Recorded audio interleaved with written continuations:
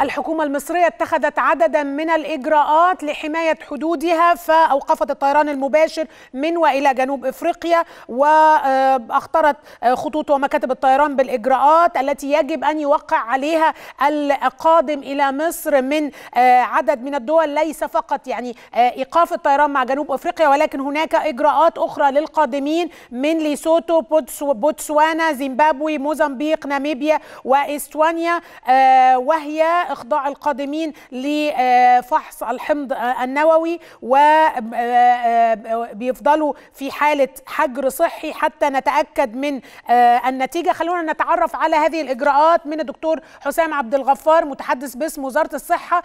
دكتور حسام خليني أبدأ بسؤالك.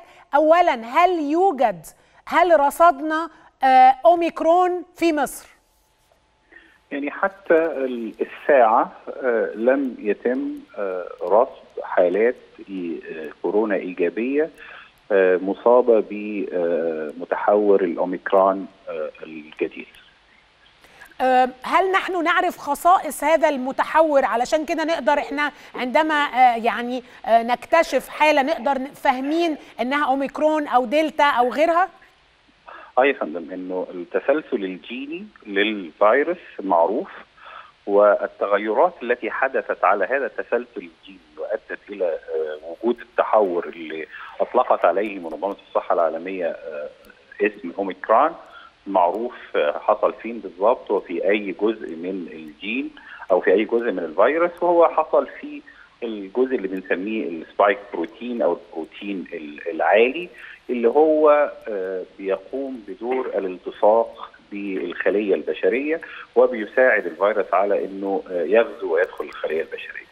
فإحنا مش بس إحنا يعني التسلسل الجيني معروف عندنا ومعروف عند الباحثين على مستوى العالم إيه التغيرات التي حدثت اللي إحنا وصفناها في البيان الذي اعلنته وزارة الصحة بالأمس أو في إنه في تغيير في أكثر من 30 إلى 50 موقع على الفيروس.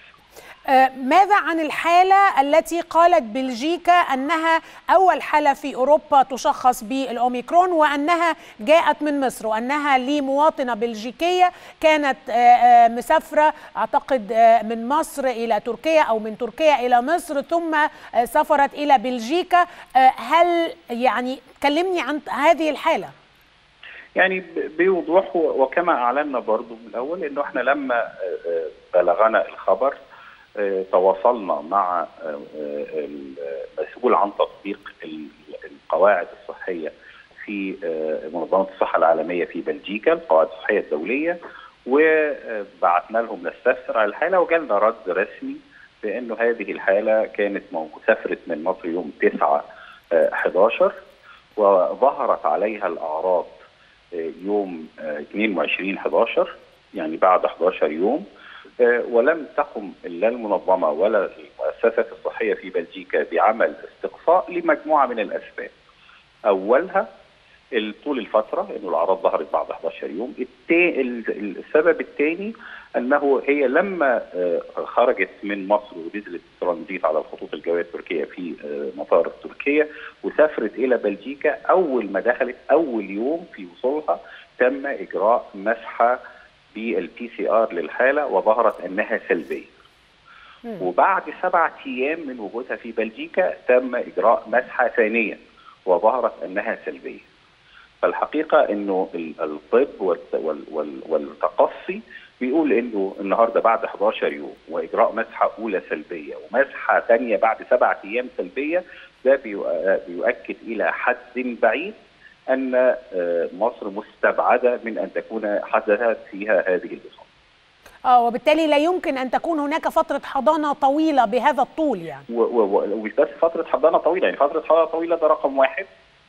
تاني حاجة إنه عملت مسحة أول ما وصلت في في أول يوم في بلجيكا اتعمل لها مسحة وطلعت سلبية وبعد سبع أيام من وجودها في بلجيكا اتعملت مسحة ثانية وطلعت سلبية برضه.